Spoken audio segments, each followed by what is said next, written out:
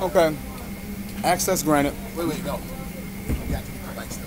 Okay, Marvin just told me I, I need to make sure that's right. Okay.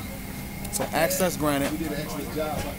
I wanted YouthOutbreakLive.com on the plane. Just to let you know what kind of plane we're on. This is the plane.